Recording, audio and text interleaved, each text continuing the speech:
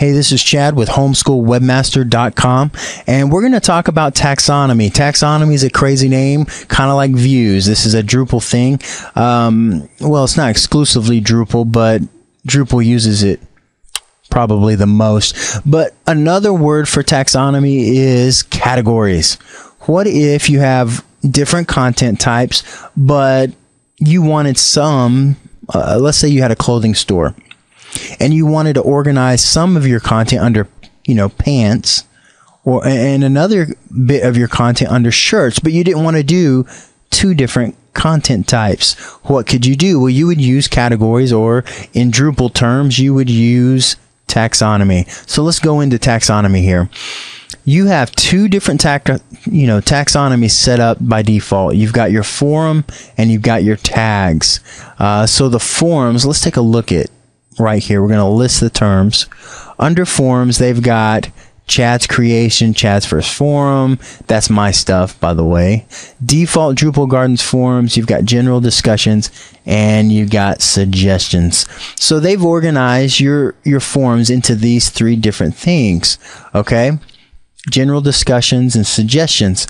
And so, all right. So in these, uh, vocabulary, let's set up just a little bit in the tags area. There is nothing in list terms. There's forums and tags. We're just going to take the tags and we're going to make it our own. So uh, list terms, there's no terms available. We're going to name it pants. And the description is all pants are organized under pants category. And we probably want to just put the quotes around pants. All right, so we've described it.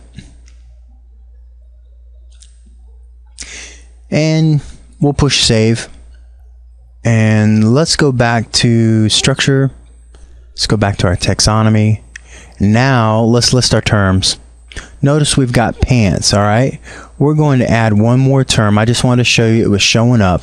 And we're going to be shirts.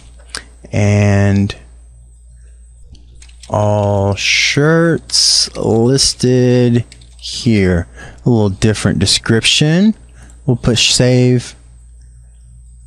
And let's go back to taxonomy. We've got this little list, so it makes it quicker for us. And now we can see under tags if we list terms we've got pants and shirts. Now so if we create a forum topic and we add content right there and we go to forums right here under tags you could put the P and it pops up with pants Okay, so now this is going to be a pants topic, and this is a test forum for pants. All right, and test for pants forum. Typing off the page, and we're going to push save. So we've just created a new form. It's saying, oops, I didn't put it in a particular form. Let's just say it's uh, Chad's first forum. That's the form we want it on. It's organized according to all the pants, I guess, that Chad wears. Maybe. We'll see. And then we push save. And then it goes in and it creates it. So it's got this form here. But if I go back to views, now uh, notice it's got the tags right there. And we could add new comments under that. But uh, I could go into our structure are simple views and I could add a new view. And all of Chad's pants. And the path would be Chad's pants. And we're going to display only forum topics on this. And we're going to sort towards newest is fine. And we're going to do a list of just titles. And we're going to limit the tags to and you can push S and the shirt will pop up. And notice there isn't also an S in the word pants, so it's kind of using anything with the word uh, the letter S, isn't it? But if we start typing one more letter, it's only going to type up with shirts. So let's do back to our pants, and we click on that. and we want to show um, 10 items per page. Um, we do we want to expose the block? And I'm going to leave all this default. Uh, how many items in the block and as a list of titles. Just leave all that default. We'll go over that later. Um, we'll push save.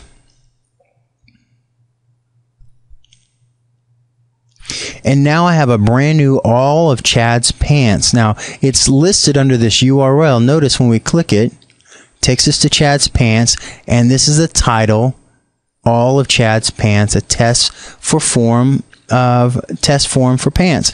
Now you can make a list of all the uh, content that has the um, tag of pants. Okay. And so now you've just organized your site and you can start sending content all over the place. Let's say you're a church and uh, you want to do Sunday night videos. So you can make a, a, category of Sunday night and all your videos on Sunday night will show up in one list. Or you can do Sunday morning videos or Sunday morning audio. Or let's say you work for a, a volunteer organization. Suddenly you can make a list of all doctor's appointments or however you want to organize your site, you can do it it.